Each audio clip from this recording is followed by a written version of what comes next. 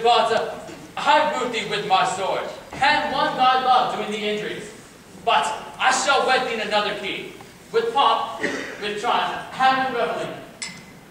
Happy be Theseus, our renowned Duke. Thanks, good Aegeus. What news with thee?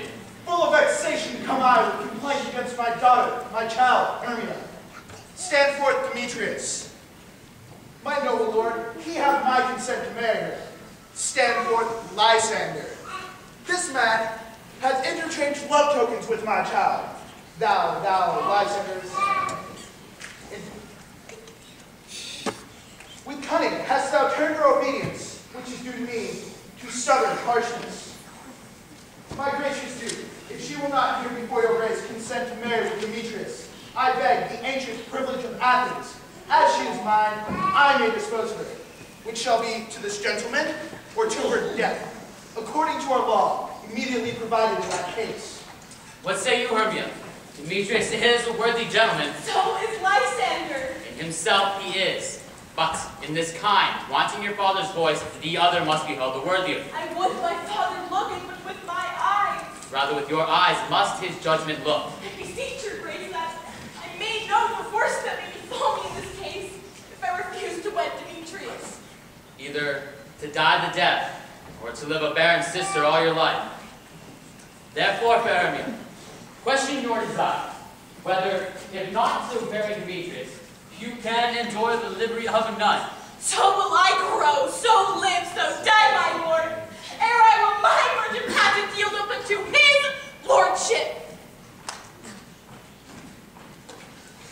Take time to pause, and by the next new moon, the sealing day betwixt my love and me, and upon that day, either prepare to die for disobedience to your father's will, or else to wed Demetrius, or on Diana's altar, protest for single life. Relent, sweet Hermia, and Lysander, yield thy grace title to my certain right. You have your father's love, Demetrius. Let me have Hermia.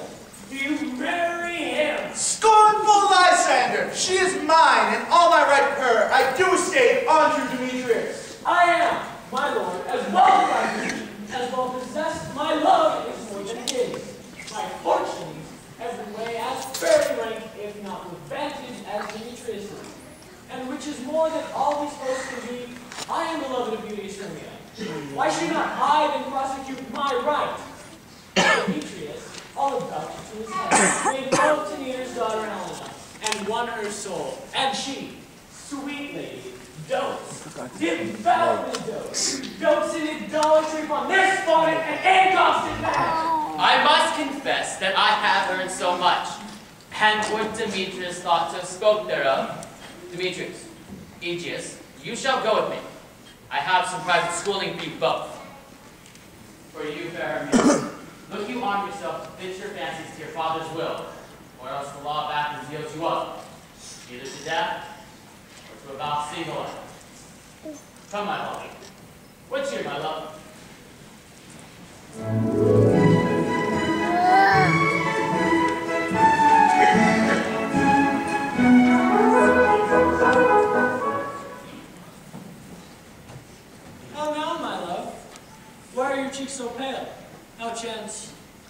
The roses there do fade so fast? He likes the one frame which I could love and team them from the temples of my eyes. I, me, thought that I could ever read, could ever hear by tale or history. The course of true love never did run smooth. Well, did you love by another's eyes? Hear me, Hermia. I have a widowed aunt, and she hath no child. From Athens is her house remote seven leagues. There, gentle Hermia, may I marry thee. And to that place the sharp Athenian law cannot pursue us.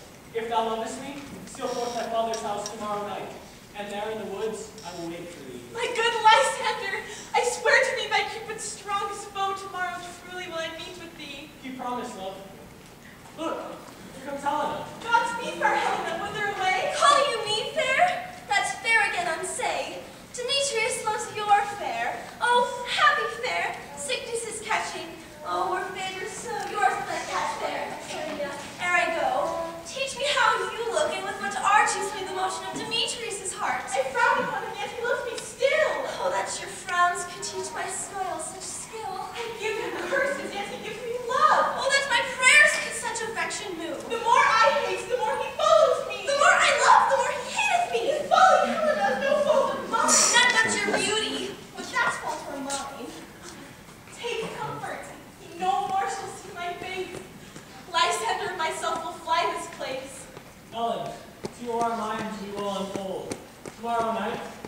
carries off, behold, the time of lover's flights are then concealed. Through Athens' gates we enterprise to steal. And in the wood there my Lysander myself shall meet, and then from Athens turn away our eyes.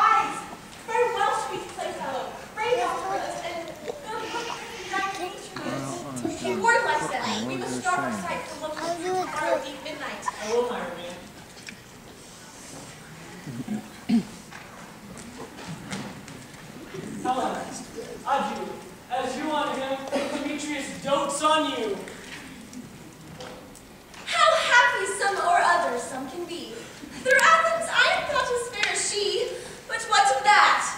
Demetrius thinks not so. He will not know at all what he don't know. For ere Demetrius looked on Hermia's eye, he hailed down oaths that he was only mine. And when this hail some heat from Hermia felt, so he dissolved, and showers of oaths did melt. Ah, I will go tell him of fair Hermi- Hermia's flight. Then to the woods will he tomorrow night pursue her. And this intelligence, if I have thanks, it was a dear expense. But here in mean I to enrich my pain to have his sight thither and back again.